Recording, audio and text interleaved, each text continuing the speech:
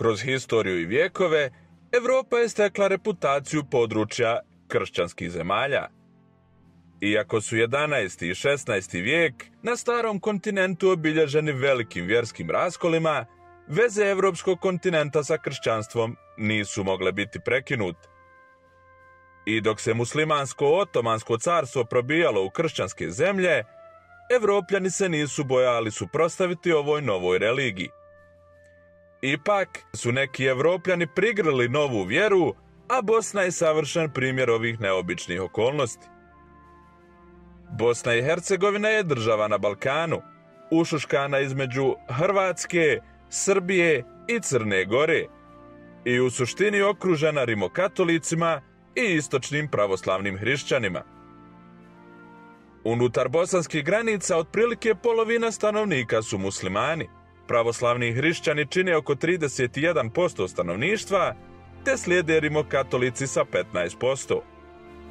Ali uz toliki kršćanski uticaj sa svih strana, zašto Bosna i Hercegovina još uvijek ima veliki broj muslimana? Islamizacija Bosne može se zapravo posmatrati i pratiti čak i prije prvog dolaska Osmanlija. Iako se sa islamom tek trebalo upoznati, treba istaći da Bosna nije bila toliko kršćanska kao što su to bile njene susjedne zemlje i to ju je činilo mnogo otvorenijom za pružanje dobrodošlice novoj vjeri.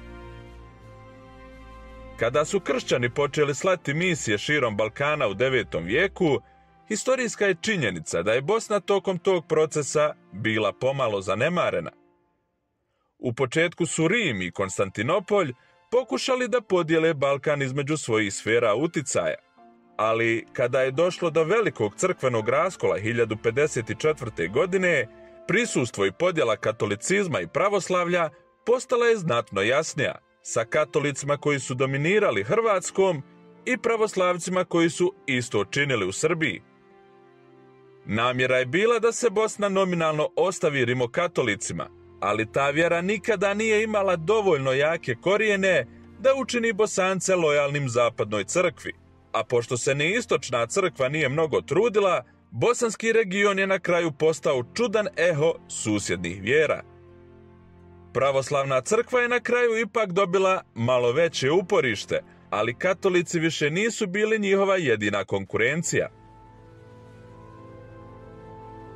U tom periodu već je uspostavljena nezvanična crkva bosanska, koja će na kraju postati potpuno nezavisna i od istoka i od zapada. Crkva bosanska razlikovala se od ostalih crkava po tome što su njeni pripadnici odbacivali mnoge elemente katoličke i pravoslavne crkve. Prvenstveno, oni su odbacivali cjelokupnu organizacionu i hijerarhijsku strukturu tradicionalne crkve, sve njene građevinske objekte, a posebno bogate manastire. Smatrali su da put ka spasenju ne zavisi od nekog sakramenta poput krštenja, krizme, pričesti, pokore ili ispovjedi, niti od dobre volje crkvenih pastira, nego to isključivo zavisi od načina života vjernika. Odbacivali su stari zavjet, proroke i spise svetih otaca. Također su odbacivali krst, mada se pojavljuje u nekim rukopisima crkve bosanske. Crkva bosanska je bila autotona crkva u Bosni koja je postojala tokom srednjeg vijeka. Bosna je u tom periodu bila posebna etnička, kulturna i politička cjelina. Ona je imala vlastiti kulturno-politički razvoj koji je doveo do stvaranja niza posebnosti, kako u sferi duhovnosti sa domaćom vjerom, tako i u kulturi, gdje se ističu stećci i pismo bosančica. Svakako, tu je bila i politika sa domaćom vladarskom dinastijom Banova i Kraljeva i razvijenom jakom državom. Katolička crkva naziva pripadnike crkve bosanske hereticima sa aspekta svih svojih dogmi, kao što je i njeno učenje heretičko za učenje crkve bosanske. U historijskoj literaturi ustanovljeno je da su bosanski krstjani jedini među brojnim sličnim heretičkim pokretima u srednjovjekovnoj Europi uspjeli formirati i sačuvati posebnu autohtonu crkvu – čija vjerovanja su bila drugačija od tadašnje katoličke i pravoslavne crkve. Historijski izvori početka djelovanja crkve bosanske vežu se za period vladavine Kulina Bana, u periodu od 1180. do 1204. godine. Djelovanje i učenje crkve bosanske bilo je toliko rašireno da ga je i sam bosanski ban Kulin prihvatio. Širenje crkve bosanske počelo je zadirati u katolički uticaj u centru, na sjeveru i na zapadu Bosne i to je ubrzo postajao problem za Rim. 1199. godine susjedni vladar Vukan Nemanjić napisao je pismo papi Inočentiju III, izražavajući zabrinuto za, kako je on smatrao, jeretičku crkvu i ljude, uključujući i samog bosanskog vođu Bana Kulina. On je napisao sljedeće. U zemlji Ugarskog kralja, u Bosni, razvija se hereza nemalih razmjera, i to u tolikoj mjeri da je i sam Ban Kulin, pošto je sa svojom ženom i svojom sestrom, udovicom pokojnog Miroslava Humskog, i s više svojih srodnika bio zaveden, preveo u onu herezu više od 10.000 kršćana. Optužbe protiv vladara počele su da se gomilaju u narednih nekoliko godina, jer su se talasu kritičara pridružile i brojne autoritarne ličnosti, uključujući i samog kralja Mađarske. Rimski papa je 1203. godine poslao svog izaslanika Ivana Kazamarisa u Bosnu, na Bilino polje kod Zenice, gdje je ispitao učenje bosanske heretičke vjere. Ustanovio je da njihovi vjerski pogledi i obredna praksa po mnogo čemu su različiti od učenja kršćanstva. Predstavnici bosanskih kristijana, kao i Kulin Ban, uz svjedoka Dubrovačkog arhidžakona Marina, su potpisali akt u kojem se odriču hereze. Iako se Kulin Ban samo formalno odrekao hereze, on je ipak uspio obezbijediti mir u zemlji, ali na kratko vrijeme, pošto će Bosna u sljedećih 250 godina biti na meti čestih križarskih pohoda zbog svoje vjere. Nakon smrti Kulina Bana 1216. godine, Rimljani su poslali novu misiju u Bosnu da pokušaju preobratiti mještane, ali je njihovo pripovjedanje ostalo bez sluha. Ljud zbog toga i podržan od Mađara koji su bili željni širenja svoje vlasti na Bosnu, novi papa je pozvao na mađarski križarski rat u Bosnu i to sve kao kaznu za ono što je Zapad još uvijek smatrao herezom. Između 1225. i 1250. godine pokušano je više krstaških ratova na Bosnu, ali su se Bosanci uspjeli oduprijeti i odbraniti.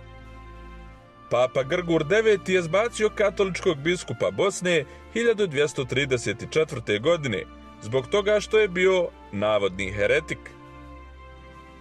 1252. godine Rim je pokušao da bosanskog biskupa stavi pod kontrolu Mađara, što je brzo izazvalo ljutito odbijanje i neslaganje lokalnog stanovništva.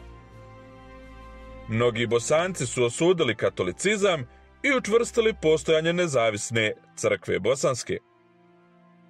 Ovo je stvorilo još veći sukob između Rima i Bosne, koji će se povremeno nastavljati u narednom periodu. Tokom ovog doba, bosanci su postali mete i zapadne i istočne crkve i mnogi su bili proganjani od strane pripadnika susjednih vjera koje su im smatrale hereticima. Ovo je stvorilo neobičajnu situaciju za razliku od ostatka Balkana. U Bosni se nije moglo vjerovati ni Rimu, ni Konstantinopolju, a što je za mnoge značilo da se ne može vjerovati ni njihovim vjerama. To je crkvu Bosansku ostavilo kao jedinu pouzdanu opciju koja je još uvijek bila mlada i sa ukaljanom reputacijom. Osmanski Turci započeli su osvajanje Bosne 1380. godina i napravili prvi korak u uvođenju islama u regiju. Ipak, baš kao što su to činili kada su Mađari započeli svoj krstaški rat, Bosanci su se hrabro borili protiv novih svojih osvajača. Njihova nelojalnost vlasti u Rimu i Konstantinopolju možda je uticala na vjerski život u Bosni – ali to sigurno nije značilo da su lokalni stanovnici bili otvoreni za tlačenja i nova osvajanja. Osmanski povod je trajao decenijama, jer su bosanci jednostavno odbijali da popuste. Do 1451. godine Turci su uspjeli uspostaviti vojnu administrativnu jedinicu, ali tek 1463. godine kraljevina Bosna će zaista pasti u otomanske ruke, i to nakon zauzimanja ključa i pogubljenja posljednjeg bosanskog kralja Stjepana Tomaševića. U početku, ovo uspješno osvajanje nije bilo automatski okidač za prelazak stanovnika Bosne na islam. Jedan od razloga zašto se Osmansko carstvo brzo širilo bila je njegova etnička i vjerska tolerancija, koja se uspostavila i u Bosni po njenom zauzeću. Nije bilo masovnog preobraćenja izvršenog silom ili bilo čega sličnog, ali su se ipak brzo uspostavili poticaji za one stanovnike koji žele prihvatiti novu vjeru. Kao što je bilo tipično u osmanskim vazalnim državama, kršćanima je bilo dozvoljeno da ostanu kršćani, ali su se suočavali sa ograničenjima i rizicima koje muslimani nisu imali. Svakako da je bilo nekih ekstremnih primjera, kao što su janjičari, ali općenito se ovi primjeri mogu naći u politikama koje se odnose na oporezivanje i plaćanje glavarine, koje su kršćane obično dovodile do pozicija građana drugog reda. Nedostatak jake lojalnosti jednoj specifičnoj vjeri je uveliko olakšalo uvjeravanje stanovništva Bosne. Dok su jedni učinili promjenu više radi koristi i interesa, drugi su zapravo našli više privlačnosti u ovoj novoj vjeri nego što su vidjeli u vjerama Rima ili Konstantinopolja, pa čak i u njihovoj vlastitoj lokalnoj crkvi. Kao rezultat, došlo je do postepenog pomaka ka islamu širom Bosne u narednih nekoliko stoljeća, za vrijeme osmanske kontrole i vladavine.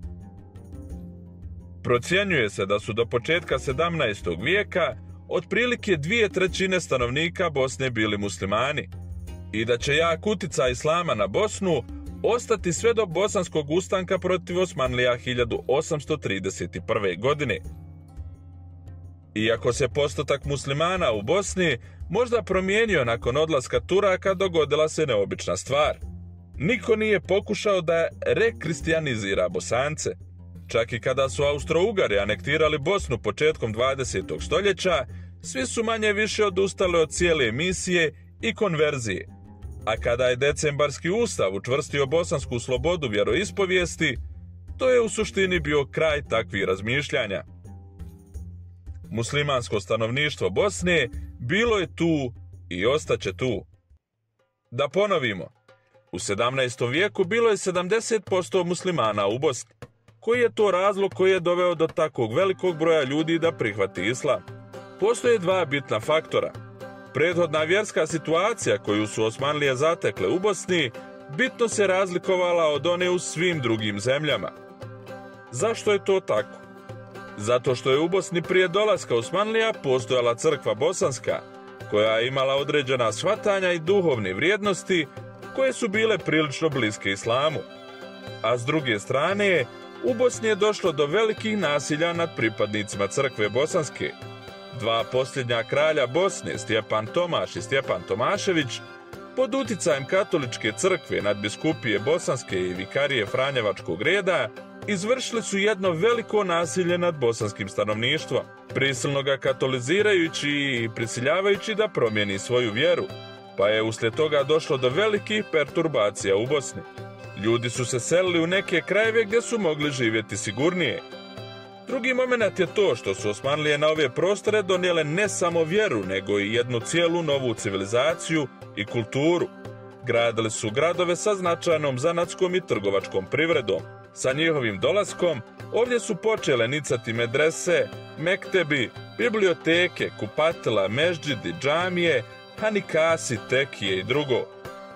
Tako da je ta cjelokupna nova civilizacijsko-kulturna situacija stvorila uslove koje veliki broj ljudi prije svega angažovala u privredi i javnom i ukupnom životu.